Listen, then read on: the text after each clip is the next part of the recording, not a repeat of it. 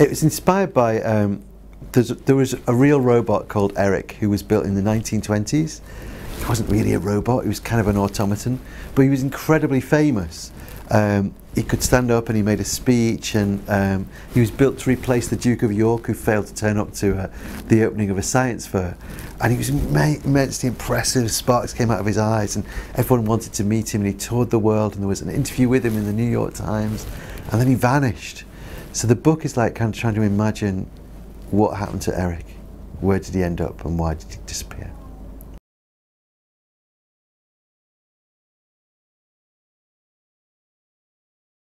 should you judge a book by its cover? Oscar Wilde said you should always judge a book by its cover. Um, well, you can certainly judge mine by my covers because Steve Lenton's covers are brilliant. I don't deserve them. Um, yeah, I think they're wonderful covers. I really like them.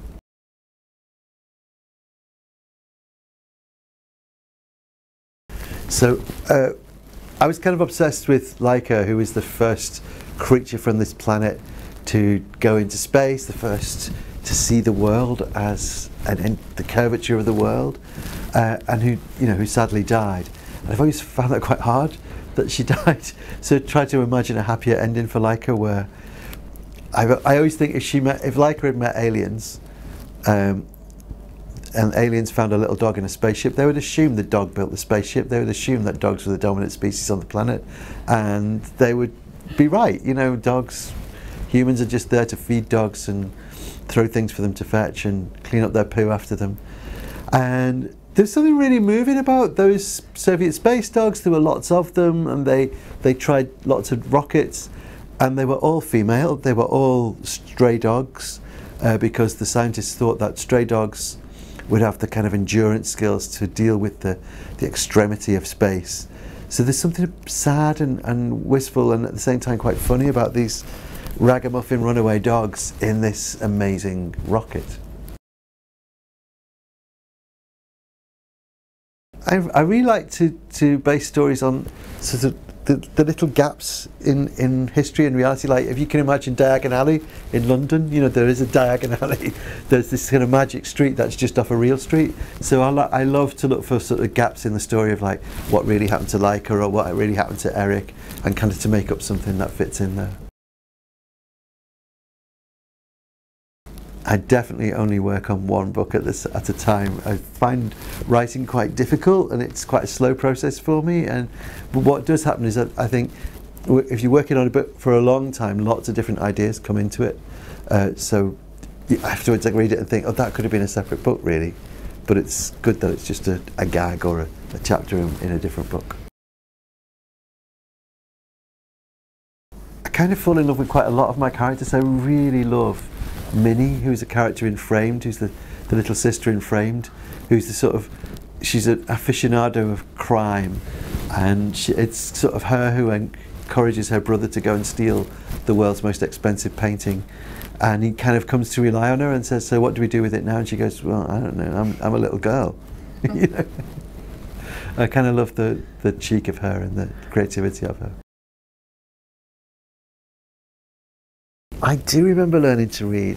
I learned to read in school using the wide range readers and I was really slow, which I now realise that I now know that was because I was like very young in my year, but I found it a real, real struggle and I kind of thirsted to read the better books that were further up the tree because I could see other kids reading better books. So learning to read I remember very well as a kind of painful process to be honest with you. The first books that I kind of independently read were, I was given a big encyclopedia of animals and it was published by Paul Hamlyn. I'd love to get another copy of it. And what was magical about it was that the paper was really thin. I guess it was quite a cheap book. It had these fantastic papers, uh, pictures in it. But because the paper was really thin, you were kind of constantly turn over several pages at once without knowing it. So for months and months and months I could go through this book finding new pages that I'd never seen. Go, oh, I didn't know about the bandicoot, nobody mentioned that before. It was fantastic. Um, and that was really kind of enchanting and magical. And then from the point of view of story, I, I guess I really, the, the first sort of book that, that really possessed me and that I felt I really possessed it was The Wizard of Earthsea by um, Ursula Le Guin, which I must have been quite grown up for, but um, I loved that book and everything about it, the fonts, everything.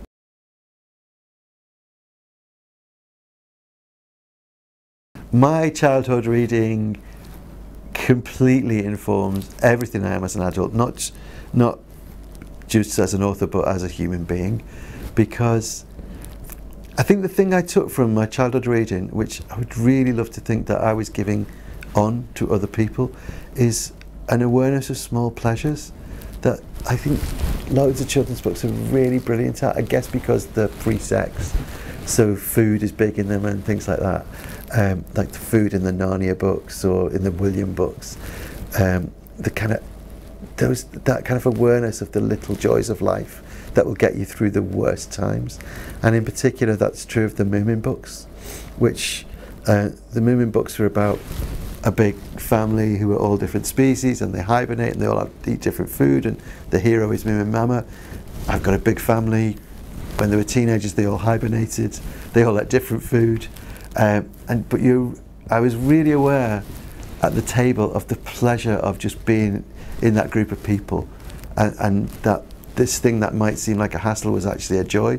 And I think I got that from Tove Jansson as much as from anywhere else, and I'll never stop thanking her for that.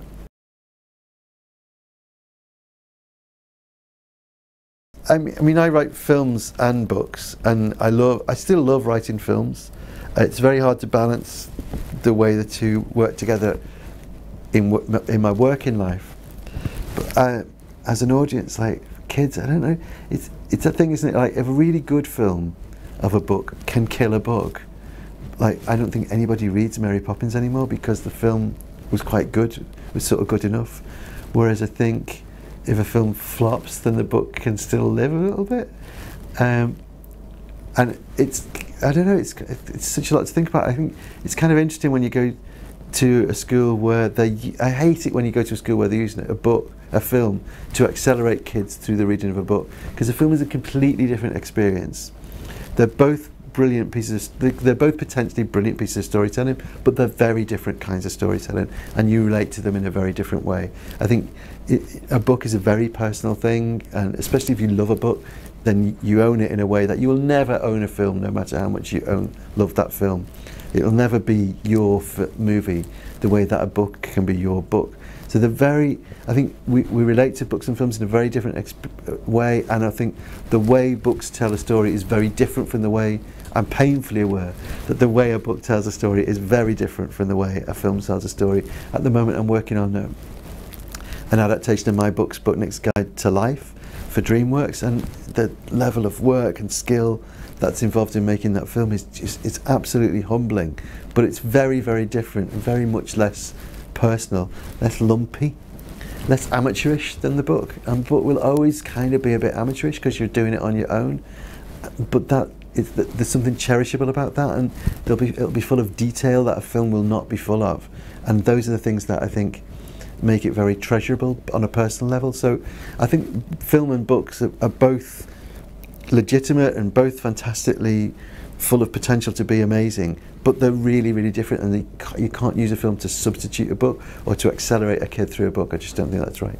Should you always read the book before you watch the film? I don't know whether that's true. You see, because I think you know like for instance, it, this might sound ridiculous, but in a way, in a lot of ways, I think the movies of say Lord of the Rings are better than the books in some sense. In that, lots of the the, the sort of turgid description that's in those Tolkien books becomes design and is brilliant and entrancing in a film, and it's it's kind of re-amazes you that Tolkien had that in his head that he had that whole world making ability in his head that can seem quite dry when you're reading it. And I think if you watch the film, you kind of be you might be alerted to how brilliant that that really is. Whereas as a reader coming to it straight, you might not be. And lots of films are just improvements on books. You know, like the Wizard of Oz film, it's in a different league from the Wizard of Oz book. It's so much better, so much cleaner. But at the same time, if you kind of came to the Wizard of Oz book after having seen the Wizard of Oz film, you'd have a kind of map of what, what is good about it. So I you can go from one to the other. What is the point of reading for pleasure? Oh my God, don't get me started. I think reading for pleasure is the, is the most important thing you can pass on because it so fortifies you as, a, as an adult. Like nothing to do with education, nothing to do with becoming creative, but to do it being alive. You know, I think the ability to read for pleasure and to concentrate for long periods of time, and the, that knowledge that it gives you of being able to leave the world for a little bit, and what and how you share that with other people. These are deep, deep joys, and I think we get mixed up. I think because pleasure, especially for British people with their Protestant heritage, that pleasure has a kind of bad. Uh, bad connotations as though pleasure is like fun or distraction. Pleasure is, pleasure is a really deep form of thinking. Pleasure is the most profound form of con concentration because pleasure is something that puts something in your brain and lets it stay in your brain maybe for your entire life. And you will bring over the course of your life different things to bear on it, nostalgia and love and all these different things, and it comes out and nobody knows where it comes out. You read a book for pleasure when you're a kid, and it could come out when you're 50 as a bridge or um, a, a, new form of bread. You don't know what it's going to be. That these things that stay in your mind for a long time and just enrich the landscape of your mind, and when you grow up, they could come out as like an ability to deal with a crisis, a, a way to get through when your child is sick, or a new way of solving an amazing problem in engineering and that comes from reading as a kid. Eric the robot, I'm going to go back to Eric the robot. That's not a robot, that's a pretend robot. But nobody would ever have built real robots if people hadn't been playing at building robots. You know, these automata. Eric was an automata, he was driven by motors, he was worked by buttons, and someone was speaking through him but the vision of being able to do the potential to do something like that comes out of the fun and the pleasure of playing with it. And I think that's what stories do. They give you these these amazing potential uh, ideas that you can make come true in later life.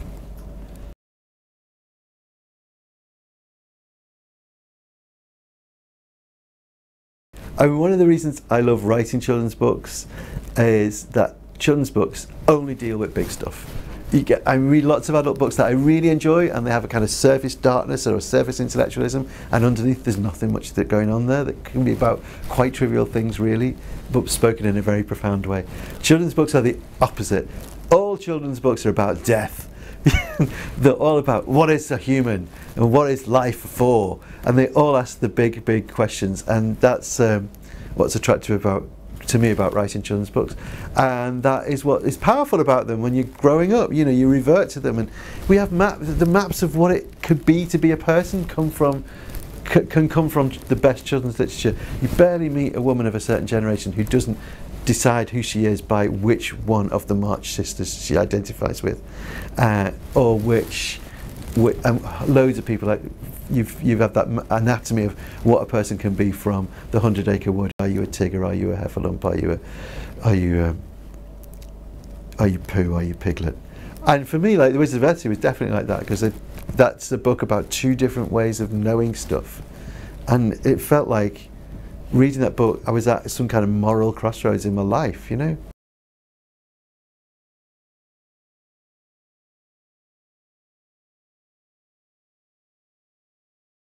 Because that's sort of the project. I mean, the project for me, I think, is to notice things and to notice that life is good and worth fighting for.